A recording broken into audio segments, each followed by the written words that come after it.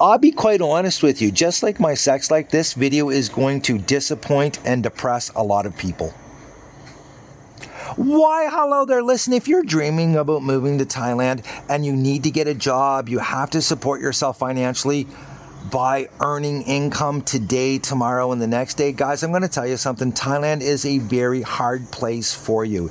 If you are thinking about coming here to try and get a job, it's next to impossible guys, I'm going to tell you something. Most jobs here are protected for the local people. So if there's a job that a local person can do, you're not going to be able to get it. Unless you're a highly skilled, specific worker, you are not going to be able to come here and find employment easily. It is very difficult.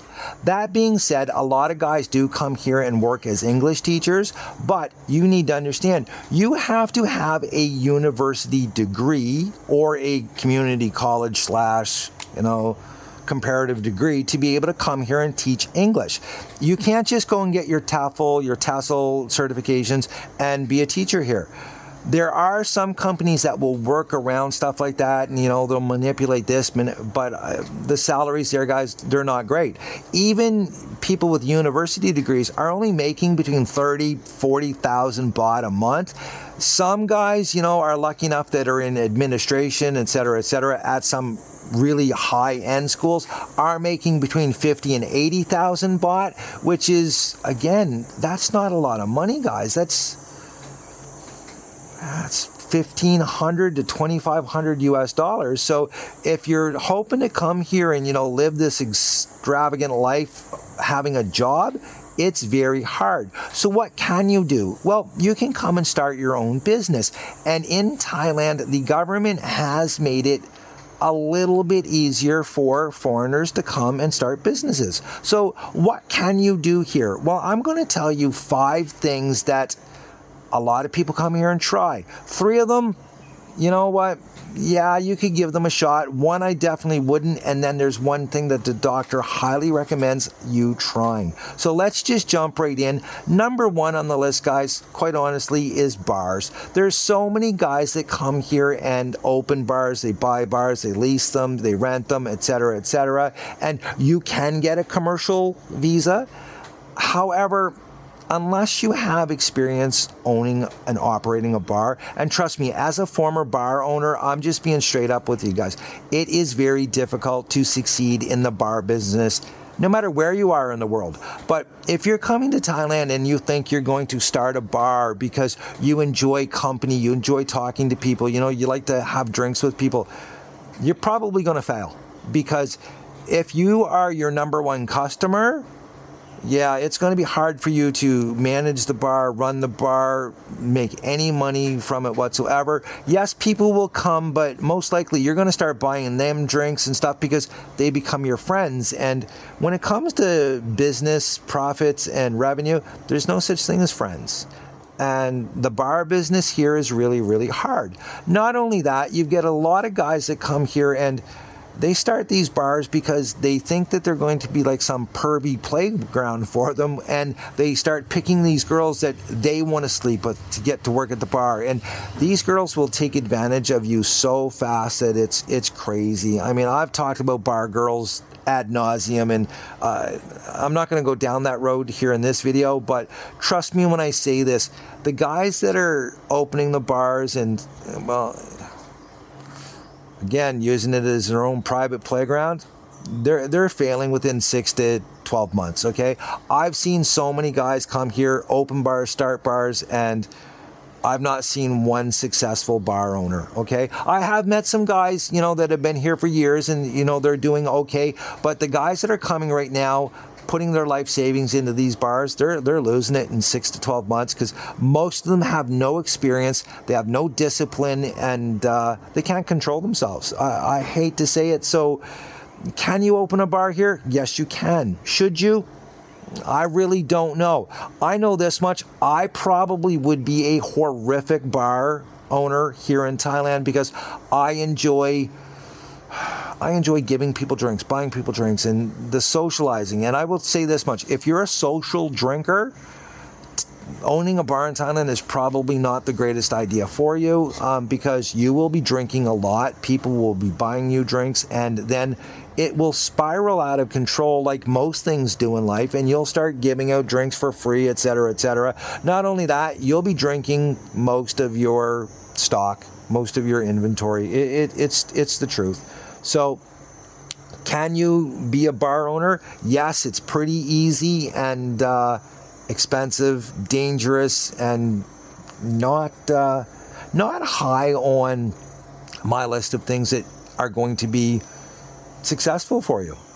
Now, along with the bars, also right now, because of the new laws concerning cannabis, weed shops are very popular. I do know several foreigners that have come here and opened weed shops, and right now the government is giving a subsidy for a lot of weed shops so that the rents are lower, et cetera, et cetera, because they're trying to grow this, you know, industry for tourism, and it's not working out really well. Okay, I know guys that have come here, opened up weed shops, and they're they're not even making enough money to pay the subsidized rent. Now, there are spots like Knockout Labs over in Ao Nang, which is where I'm at right now. Tom Birchie has done really well with his uh, cannabis shop as well as his Kratom business, but he is marketing it on Instagram and TikTok every single day, several times a day, and it's more marketing than it is product, if you know what I mean. Yes, I understand they have good product there. Um, I'm not a smoker, so I don't know, but I've heard some fantastic reviews on his uh, cauliflower or no broccoli. That's what he likes to call it. Um, anyways, it's uh, it's a hard business, and I will say this much: once the subsidies dry up a lot of these shops are going to be closing. So if you're coming here and you want to try a weed shop, definitely do it. But uh, the old adage, don't get high off your own supply. Yeah, every single weed shop owner I know is stoned out of their minds all day long, and uh, they really need somebody to help them do the books, do the, you know, make sure that everything's in line. And I'll tell you something, guys the weed shops, yes, you can make a little bit of money at them right now, but uh, you're not going to uh, you're not going to be making a fortune unless you are smart enough to market yourself, such as Tom is with his girlfriend Ellie. They're here in Ao Nang. Okay. Construction, land development, real estate. As a former realtor, I will say this much: if I came to Thailand, I would if it was 20 years ago, I would look into buying a Century 21 franchise because the real estate agents here are lazy as. Now, that being said, it would be very difficult for you to hire agents to work for you because, uh, again, they are lazy as. They don't seem to want to do anything. Um, they don't reply to messages. They don't get back to you.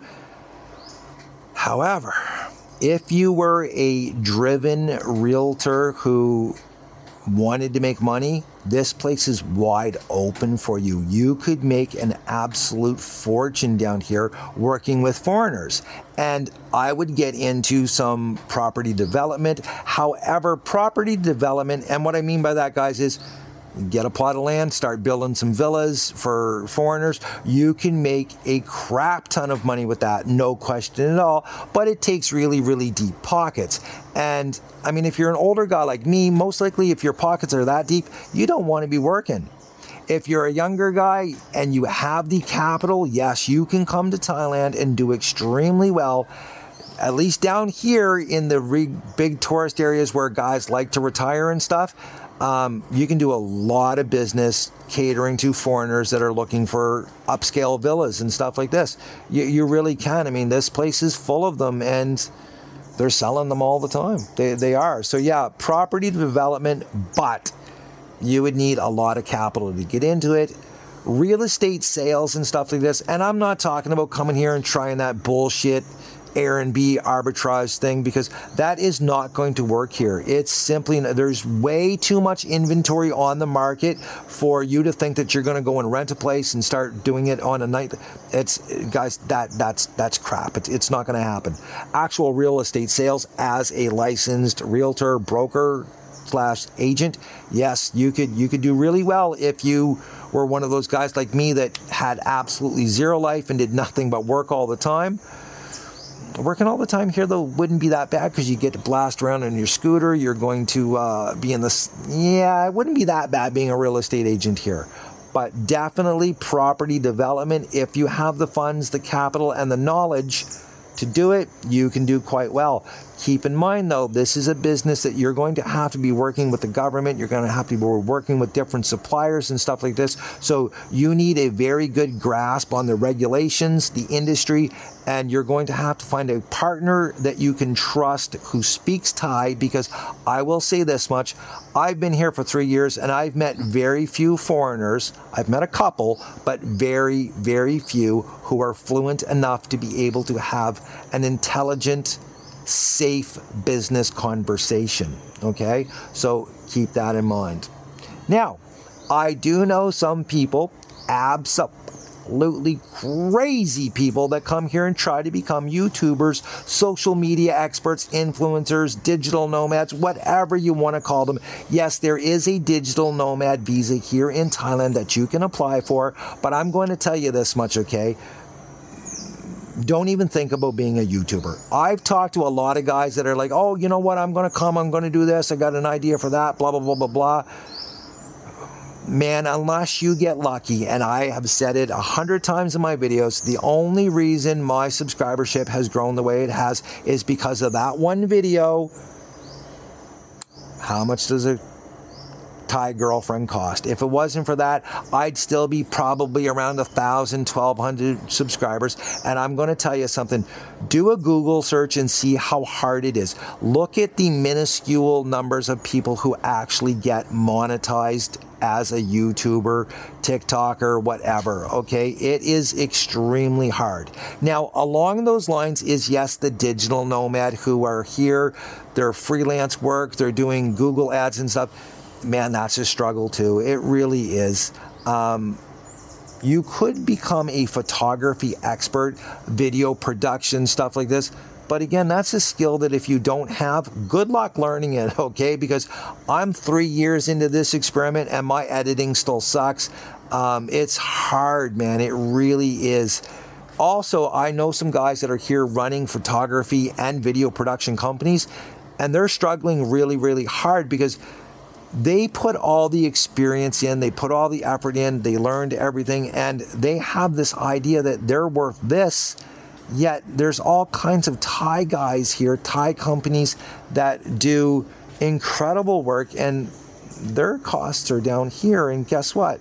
People are going to, yeah, you see what I'm saying? So you have to remember that just because you have a certain skill set that pays you this amount of money back home, it's not going to pay you that here. And while we're on the subject getting paid, YouTube doesn't, it's, man, if you're, honestly, if you're thinking about coming to Thailand, starting a YouTube, feet on the ground running when you get here, good luck. That's all I'm going to say. Good luck. I finally make enough money that I can support myself on a monthly basis through YouTube, but that's because I get AdSense money, I get sponsorship money, and I get uh, buy me a beer money is fantastic because you wouldn't believe how many people buy me a beer. Um, I will admit, guys, what I'm doing with that money now is I'm donating it to different uh, charities here, elephant places, monkey places, because uh, if I drank that much beer, man, I'd be off the rails in a hurry. Yeah, I would be. So, that, guys, three things that you can do. One thing that I definitely don't recommend. So, what would the good doctor recommend as a business here in Thailand that you could make money at, you could get a visa, and you'd have fun doing? Well, here's exactly what I would do, guys. I would go into the tourism industry here. And I don't mean I would become a simple travel agent. No, no, no, no, no. What I would do is I would find something that works towards a passion that I have, and I would market that as a tour to people. So, I love street food. I would go and come here, spend about a year learning as much as I can about street food, finding the different markets, learning the people that are at the markets, and taking people on guided street food adventures here in Thailand. And I would market it on Facebook, Instagram, TikTok, any place I possibly could where people are watching stuff about Thailand. And I will tell you this much the number of viewers for TikTok, Instagram, YouTube about Thailand it's astronomical how many people want to come here. And if you were marketing yourself as an expert for, say, street food tours, people would love that because they can communicate with you, they can understand you, they'll have a great time, and you'll have a blast doing it because you're doing something that you love. That being said, you know, you could do temple tours, you could do island tours, you could do anything, but you have to have a passion for it. Keep in mind if you're a devout Christian, you're probably not going to enjoy doing temple tours, okay? If you're a vegan, street food tours are probably not going to be the best idea for you because there's a lot of meat on the street. And I'm not talking about the girls, guys. I'm talking about the actual street meat.